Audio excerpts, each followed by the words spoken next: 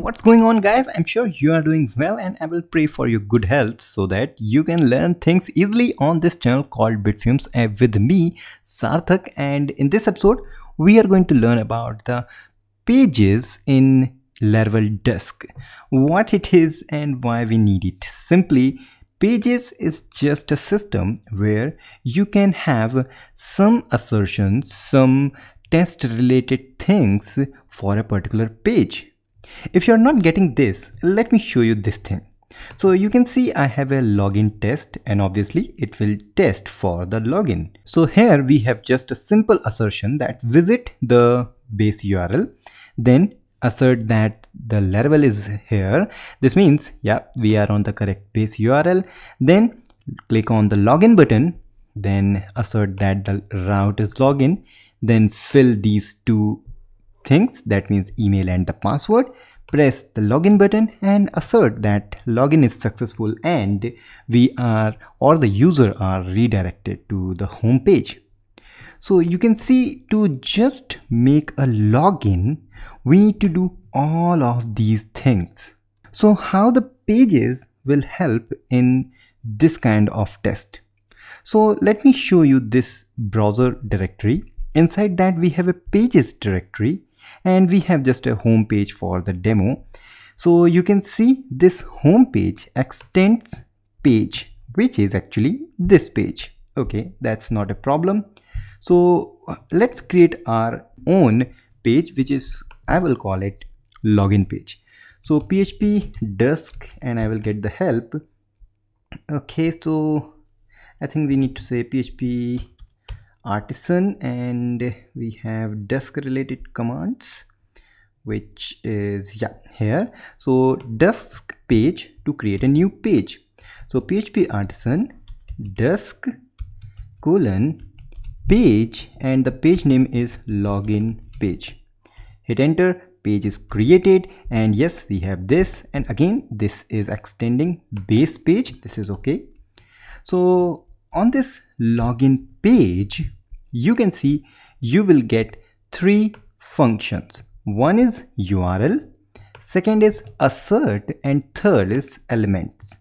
So first thing first, URL. So in this URL function, you will just going to return whatever is the URL of the pages you are going to connect with this. So we are going to have all the functionality related to login page in this particular page so that our this code will become shorter or easier. So how we can assert that? It's a login page. So url is login. That's okay. And yeah in the assert part it's just asserting that okay when we go on this page that means when we are using this login page then we assert that the url is login. So this is good but how we can use it here? So you can see we are clicking on the login link from the welcome page. Then we are asserting that we have this route is login. Okay? Instead of this what we can say simply visit and then actually the arrow visit and then new login page. Okay? And we have to import it at the top which is here. And in that case we have we don't have to go through all these things. And now our code is become somewhat shorter. Okay? So let's run it and see whether this is going to work or not. And yes surely it will going to work. And you can see one test but two assertions but here you can see uh, we have only one assertion. So where this another assertion came from this one. So actually on this login page you can see we have assert path is and that the url so that's why we have this uh, two assertions. So we have talked about url we have talked about assert. We have not talked about element. So how this element function will help us in creating these tests easier. so you can see we are using just this simple thing which is hash email. So instead of using hash email we can cut that from here and we can just give all of these elements we are going to use here. So you can see i'm connecting hash email to at email or simply e. Or you can say, say that it is an email okay? It doesn't matter. Similarly if i cut from here and create password to only pass and like that so that has to be hash.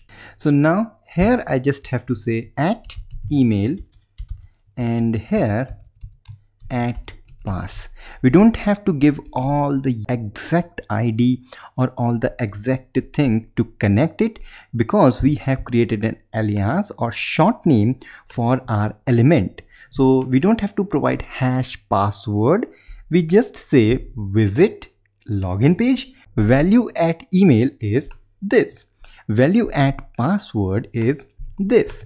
So again if we go and run it it will going to work because everything is now connected to login page. And this is very handy when you have this kind of notation where input is uh, like name is equal to password. If you are using this kind of notation then it is very handy to use just at pass instead of all long this kind of name so let's again run it and yeah it will going to pass because yes the password field has the name of password so in that way our login page is very useful but still you can see to create a simple login, we are using four line of test. Why not use this login page and create a new function? So I will create a public function and I will call it sign up or sign in actually, not sign up. And here what I'm going to do, I'm going to do all these things. So let's just paste this and here we need we don't need actually a visit because visit is obviously on the main test. So what we need we need the browser. So let's import the browser at this. And obviously that has to be imported at the top also. So we have the browser. And then we will say browser and dollar browser. And value is this email and secret is the password. So why not make this somewhat dynamic? So i will simply say email and i will accept that email here and let's close this line. So here we will say browser visit new uh, login page. That's okay. Then after visiting login page we just have to say sign in. So you can see all the logic related to signing in we have moved in this function called sign in. So now we just need to pass our email which is user arrow email and let's run this. And again this is going to pass. But what if I just remove anything and try to run the test? You can see it fails and one thing more we just have to check this also. So if i remove that password alias from here and yeah you can see we are using that at pass here. So run it. It now fails. Go back undo that and run the test. It's now passing. So you can see by using this pages functions with the Laravel Dusk, we have reduced our code and obviously we don't have to write all of these things every time we just want to log in any user. So we just use this sign in function visit login sign in user email and everything is done. So it's super easy and very handy and very very very useful when you are asserting lots of things. You can just put all these things all your logic here. You can create any number of functions here. So last thing related to this pages is that you can see this uh, where is that? Yeah. Login page is actually extending this base page but we also have a page.php file which is also extending base page. So instead of extending this base page we can extend the page which is here page.php by doing this what we can do Inside this page.php, we can define anything which is globally to every uh, pages because login page is extending page, home page is extending page.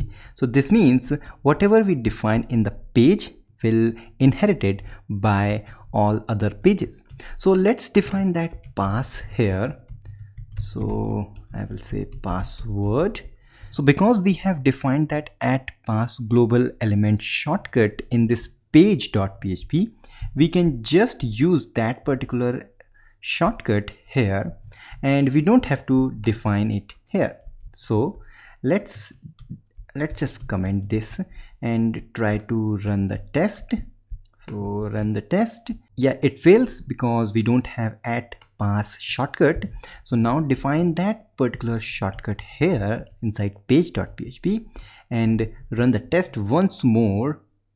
And yes you can see it passes because that particular at pass is defined here not here so that's not a problem because it's just for your uh, demonstration purpose but uh, you don't have to define uh, here the logics or here shortcut which is just for one page only. So because it says it is a site element so just define the element which is common to every pages. So like you have some links on the header you have some links on the footer or sidebar maybe is uh, on every pages. So then then you can define that things here also. So this is all about pages and if you have liked this episode please go and subscribe to this channel. Don't forget to hit the bell icon to get instant notification like bitfumes on facebook twitter instagram linkedin wherever you want and share these video with your friends so that everyone can learn the best thing about laravel. And we will meet in the next episode. Till then goodbye